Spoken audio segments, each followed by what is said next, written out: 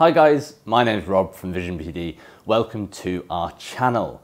In this video, I'm going to be taking you around the top floor. We're going to be having a quick look around before we get too far ahead with the build, so you can see what the building looked like before we made a mess.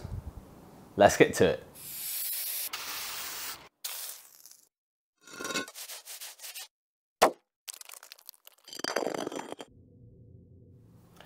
So there are three flats on this floor, one at the front, one at the middle, one at the back. And in between each flat, I think it might be handy if I show you the flats that we finished downstairs because they're very similar in layout so that you can get a bit of a sense as to what they're going to look like in the end. Okay, so I'll start giving you a tour of the way the floor is laid out. So here's the communal staircase here. I'll open this for a bit of light. Come up the staircase and then you've got one flat down there with the entrance door about halfway along that wall. Another flat just here, which is the middle one, and then we've got the one I did the intro in down there, which is the largest one of the three. I'll start with the one that way, because this is the furthest ahead. So you've come through the front door already here. On the left we've got the bedroom. Unfortunately we're stuck with the size of it because this is the size of the room as the building was built.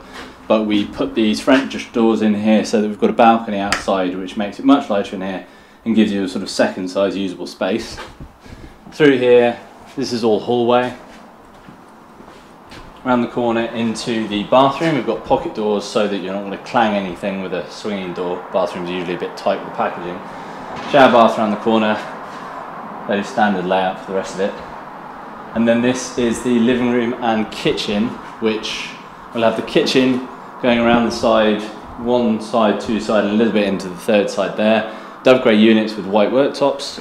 And then you've got the living space and kitchen area around here, windows on three sides makes it nice and light and the trees break up some of the view towards the road which is a bit of a bonus on this top floor.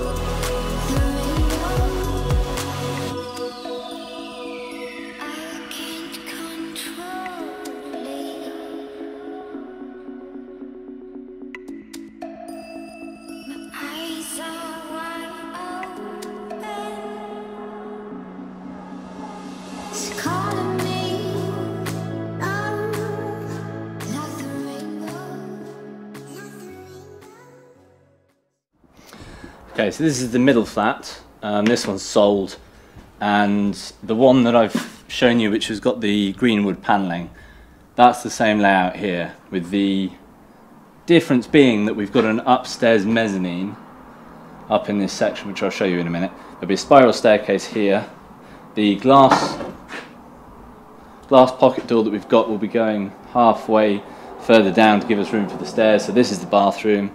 We're in the hallway here with the stairs come through here. And we're in the kitchen slash living room although it's a bit of a small kitchen. So upstairs is possibly going to be a living room depending on how people decide to use it. Kitchen runs along there. Come through here. And we've got the bedroom in this section as I said like it's a, it's a really big mess at the minute.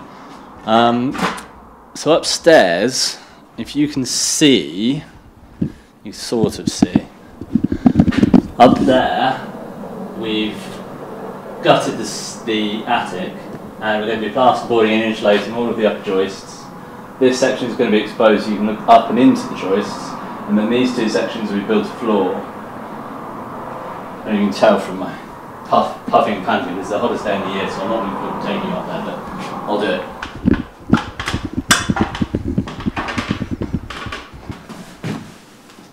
It's got to be about a million degrees up here right now.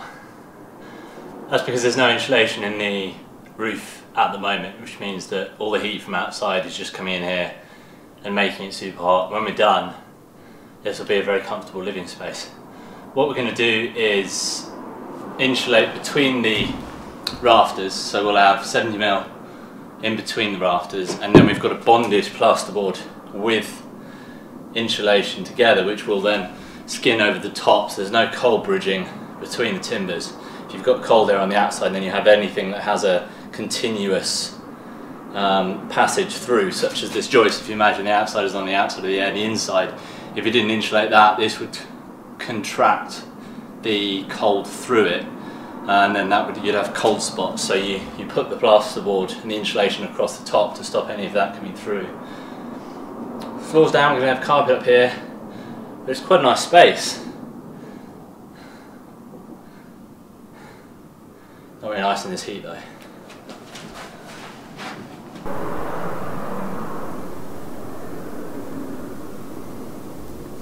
Not sure how well you can see me here, it's quite dark up here, but this edge here is going to be where the banister is. And then this whole section here is going to be open and these beams are going to be painted so that you can see all the way through and up into this lofted ceiling. And then the handrail on here you'd be able to look down into the kitchen. If it was all closed off, you'd have ventilation issues because we don't want to mess with the roof. Don't want to start cutting holes and putting roof lights in.